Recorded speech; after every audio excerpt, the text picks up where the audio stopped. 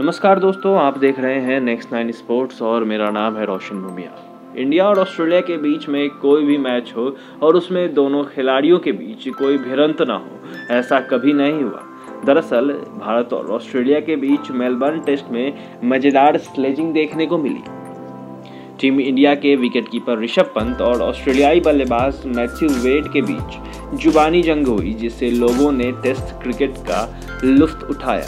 ऑस्ट्रेलियाई पारी के 25वें ओवर में मैथ्यू वेड को ऋषभ पंत विकेट के पीछे से बोलते हुए नज़र आए।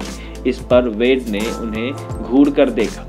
उस समय बुमराह बॉलिंग कर रहे थे और मैथ्यू वेड उनकी गेंद को डिफेंड कर रहे थे। मैथ्यू वेड का ध्यान भटकाने के लिए ऋषभ पंत लगातार उन पर कमेंट कर रहे थे और वेड की बल्लेबाजी पर मानसिक दबाव बढ़ रहा था। ऋषभ पंत ने विकेट के पीछे से कमेंट किया, हे हे हे, इस पर मैथ्यू वेड ने पलटवार किया। वेड ने परेशान होकर, हे हे हे, कहा कि तुम बार बार मैदान के बाहर लगी बड़ी स्क्रीन को क्यों देख रहे हो? तुम्हारा वज़न 25 से 30 किलोग्राम ज़्यादा है। खुद को बिग स्क्रीन पर देखो।